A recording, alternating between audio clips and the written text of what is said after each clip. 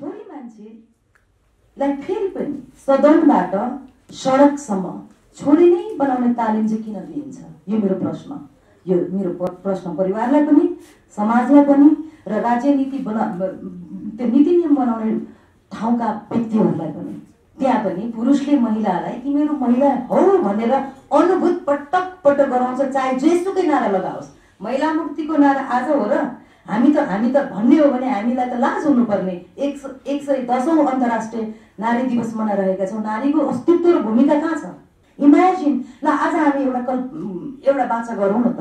अब आउने चुनावमा साँच्चै नै हामी चाहिँ हामी चाहिँ महिलालाई प्रधानमन्त्री भएको हेर्न चाहन्छौँ भने महिलालाई कार्यकारी राष्ट्रपति प्रत्यक्ष निर्वाचित राष्ट्रपति जनताबाट चुनिएको प्रधानमन्त्री या राष्ट्रपति भएको हेर्न चाहन्छौँ भने कमन हामी जहिले दर्शक छौँ सदनका महिलादेखि सडकका महिलासम्म दर्शक हुन्। ती संसद भवनमा पनि ताली पड्काएको मात्रै देखिरहेको हुन्छु मैले।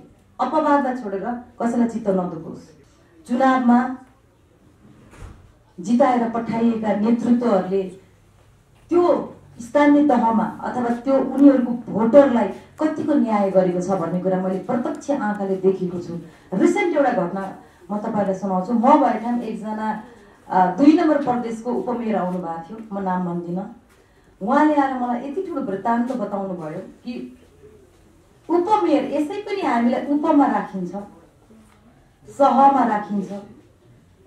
हामी त्यसको लायकको र त्यसको हैसियत या त्यस त्यो त्यो ठाउँमा पुग्ने उपभन्दा माथि पुग्ने क्षमता हुँदा हुँदै पनि हामीलाई वञ्चित गरिन्छ।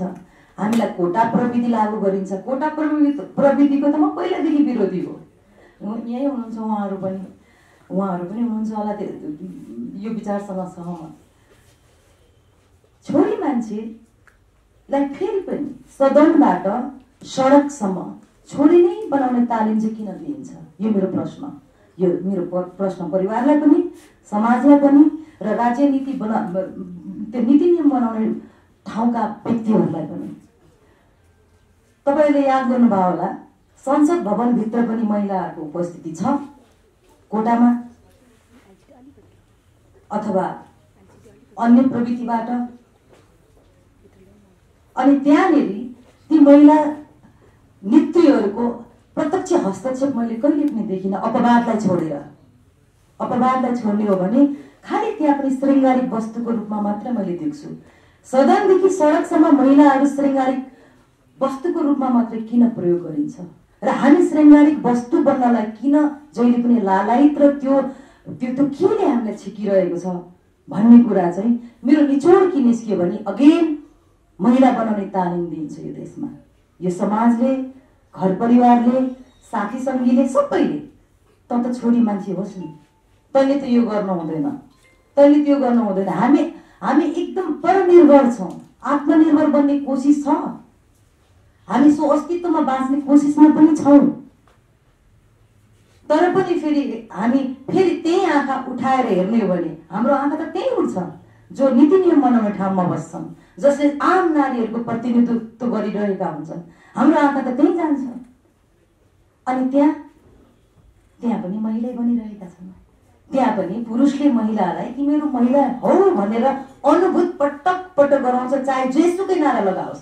महिला मुक्तिको नारा आज हो र हामी त हामी त भन्ने हो भने हामीलाई त लाज हुनुपर्ने। एक स- एक सय दसौँ अन्तर्राष्ट्रिय नारी दिवस मनाइरहेका छौँ। नारीको अस्तित्व र भूमिका कहाँ छ? मैले वर्ल्डकै कुरा गरिरहेको छु। जहाँ पनि पुरुषको दबदबा छ आजभन्दा कति वर्ष अगाडि कति सय एक सय डेढ सय कति वर्ष अगाडि योग मायाले नारी मुक्तिको आवाज जातीय आवाज बाल विवाह हुनु हुँदैन ए, विधवाले फेरि पनि विवाह गर्न पाउनुपर्छ भनेर कति वर्ष अगाडि उठाएको आवाज आज पनि हामी त्यही आवाज उठाइरहेका छौँ। हाम्रो चेतनाको स्तर कहाँ पुग्यो? हरेक पटक पटक पटक महिलाहरू रिसेन्ट केस हेर्नुहोस् एयरपोर्ट केस। महिलाहरूको केही घटना घटनै हुँदैन। यति रोमाञ्चक रोमाञ्चक ढङ्गले प्रस्तुत गरिन्छ कि त्यहाँ एउटा एउटा अर्को पुरुष छ भने त्यहाँ बनाइँदैन। म मिडियाकर्मी साथीहरूलाई पनि भन्छु। एउटा महिलाको बलात्कार भएको घटना आयो भने इमेजिन वर्षौँ वर्षसम्म त्यसलाई रोमान्टिक ढङ्गले रोमाञ्चक ढङ्गले त्यसलाई खजना त्यसलाई मसला एकै महिला मसलाको वस्तु अन्त मसला बनाउने एउटा एउटा वस्तु हो होइन नि त। यदि हामी आफै पनि परिवर्तनको सङ्घारमा छौँ भने त्यसलाई साथ त अरूले पनि दिनु पर्ला।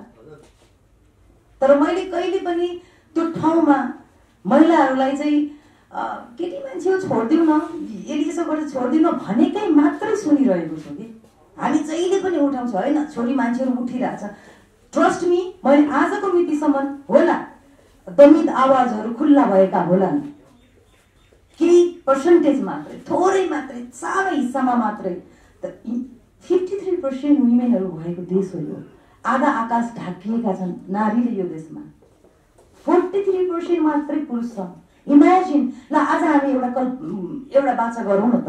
अब आउने चुनावमा साँच्चै नै हामी चाहिँ हामी चाहिँ महिलालाई प्रधानमन्त्री भएको हेर्न चाहन्छौँ भने महिलालाई कार्यकारी राष्ट्रपति प्रत्यक्ष निर्वाचित राष्ट्रपति जनताबाट चुनिएको प्रधानमन्त्री या राष्ट्रपति भएको हेर्न चाहन्छौँ भने कमन फिफ्टी थ्री पर्सेन्ट वुमेनहरू स्टप भोटिङ भोट नदेऊ न त त्यसो भए।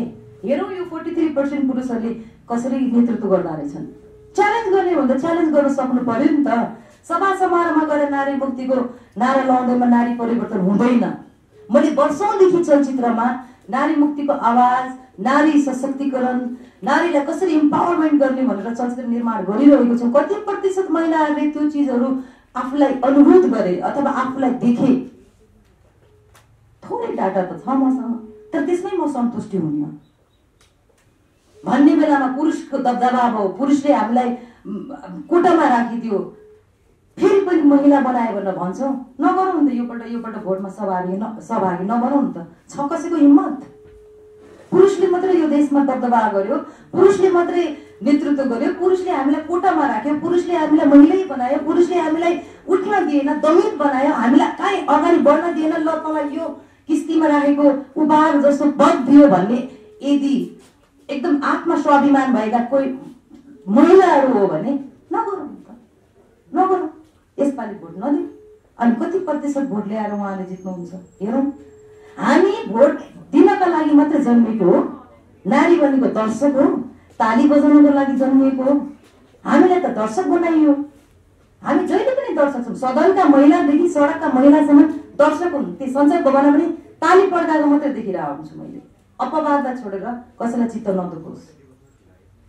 कोट लगायो लिपस्टिक लगायो अनि त्यहाँ पनि गएर के गर्यो? ताली पड्कायो। फेरि सडकको महिला पनि बिचरा ताली नै पड्काइरहेको हुन्छ। हामीलाई हाम्रो आमा बुवाले ताली पड्काउन जन्माएको होइन। हामीलाई पनि यो धरतीमा पुरुष र बराबर अधिकार छ भनेरै हामीले त्यो सोचेको पनि छैन फेरि। किन घरबाटै त्यो त्यो त्यो त्यो कुराको सृजना गरिन्छ। र अर्को कुरा मलाई भन्न एकदमै मन लागेको महिलाहरूलाई। फेरि हामी आफै पनि सुध्रिन आवश्यकता छ। हामीभित्र वर्षौँ लगाएर तयार पारिएको कमजोर सत्ता छ।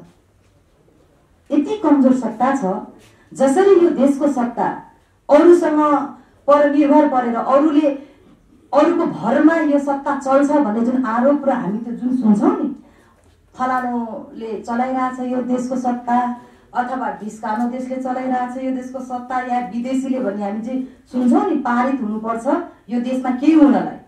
कुनै पनि राजनीतिक चलखेल हुनलाई अर्कोबाट पारित हुनुपर्छ भन्ने जुन हामीले सुनेका छौँ। त्यस्तै कमजोर सत्ता छ छोरी मान्छेहरूको मनको सत्ता। त्यो सत्ता कहिले भत्काउने? छ कसैको हिम्मत? त्यो सत्ता भत्काउन नसक्ने। यसले के भन्ला? उसले के भन्ला? म सानो पो देखिन्छु कि? म नराम्रो पो देखिन्छु कि? भन्ने त्यो कमजोर सत्ताबाट यो देशमा नारी मुक्ति हुनेवाला छैन। जबसम्म हामी आरोप त लाउँछौँ नि त तपाईँ हामीले नै आरोप लगाइरहन्छ यो सरकारले केही गर्न सकेन। विदेशीको भर पर्छ फलानु तिलानु भन्न त सजिलो छ। तर हामी आफै आफ्नो मनको कमजोर सत्ता भत्काउन सक्छौँ जबसम्म भत्काउँदैन तबसम्म नारी मुक्ति हुँदैन। जबसम्म तपाईँ हामीले हामी मान्छे हौँ भन्ने अनुभूत गर्दैनौँ तबसम्म हामी छोरी मान्छे नै भइरहन्छौँ। मेरो आइडेन्टिटी पो छोरी हो त। तपाईँ र यहाँ आउने पुरुष मित्रहरू जो क्यामेराको पछाडि तपाईँ र ममा के के फरक छ? मेरो परिचय मात्रै छोरी हो। Otherwise we are human being हामी मान्छे भएर बाँच्नुपर्छ छोरी मान्छे। छोरी मान्छे भएर नबाँच। मान्छे भएर बाँच भन्ने मेरो नारा हो। र अन्त्यमा दिदीहरूको कुरा पनि सुन्नुपर्छ। अन्त्यमा म के भन्न चाहन्छु भने आजैबाट पटक पटक हामी यो नारी दिवसहरू मनाइरहनु पर्छ जस्तो मलाई लाग्दैन। पुरुष दिवस त मनाएको छैन। इक्वालिटीको कुरा गर्ने हो भने हामी इक्वल भएर बाँच्ने भने आजकै मितिबाट आजैबाट तपाईँ र हामीभित्रको डर छोरी हुनुको डर त्यो डरको अन्त्य गर्नु पर्यो। आफ्नो क्षमतालाई विश्वास गर्नु पर्यो। आफू क्षमतावान छ भने लडाइँ गरेर अगाडि जानुहोस्। लड्नुहोस् तपाईँहरू। हामी लड्नुपर्छ। जबसम्म हामी लड्दैनौँ जबसम्म हामी आश र अर्काको भरोसामा बाँच्छौँ तबसम्म यो दुनियाँले यो समाजले घर परिवारले तपाईँहरूलाई हामीलाई छोरी नै बनाइरहेको हुन्छ। तपाईँहरू छोरी भएर बाँच्ने कि मान्छे भएर बाँच्ने त्यो तपाईँहरूको हातमा छ हाम्रो हातमा छ। र जाँदा जाँदै यति धेरै क्यामेराको पछाडि कति धेरै पुरुष मित्रहरू देखेँ फ्रन्टमा मैले यो फ्रन्ट लाइनमा मेरो बहिनीहरूलाई देखिनँ। आई विस कि उहाँहरू हस्तक्षेप गरेर यहाँ अगाडि आएको भए। सायद सहज थिएन होला। एक्सक्युज यु तथापि एकजना दुईजना तिनजना चारजना पाँचजना छजना ल सातजना दसजना। म अर्को वर्ष अर्को वर्ष यो रोमा बराबर नारी पुरुष देख्न चाहन्छु। तपाईँहरू सबैजनालाई शुभकामना।